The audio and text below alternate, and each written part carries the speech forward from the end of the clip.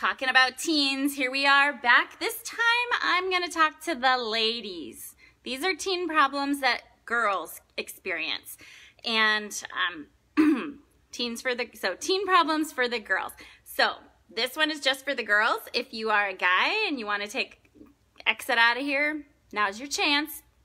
Otherwise, we're getting kind of personal here. So if your daughter has started her period, then we have a few things that you might need to consider. Maybe you're not even aware of them because I I wasn't. So first of all, have you ever paid attention to the products that you use for supplies like pads and tampons?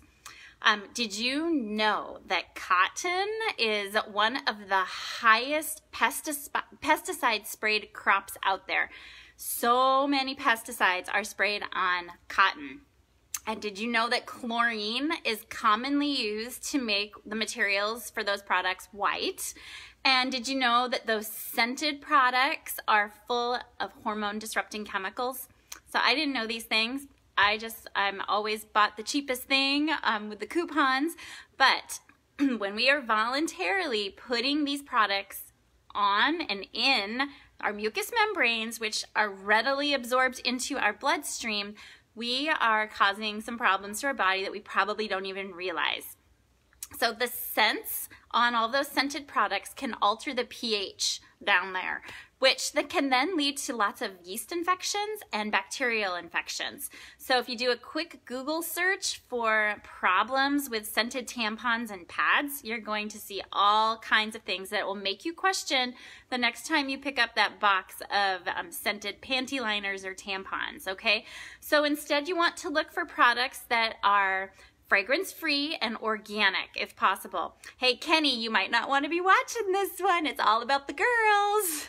So good to see you though. Um, so you're gonna you're gonna want to find products that are all natural and organic, if at all possible. Some of our favorites, we happen to like this Nature Care or Nature Care, Nature Care, um, and also Nature Care tampons. And then we also have used seventh generation free and clear. And we order these, um, you can get them, I've seen them at Fred Meyer, but I think they cost a little bit more. I've been ordering online from jet.com and it's it's a great i don't know it's like I feel like it's a great alternative it's something that i'd never considered until i started paying a lot more attention to living a little natural lifestyle and tampons and pads and those all kind of supplies are really important to watch out for so another thing that um, that girls pay close attention to are their mon monthly cycles and the hormone roller coaster.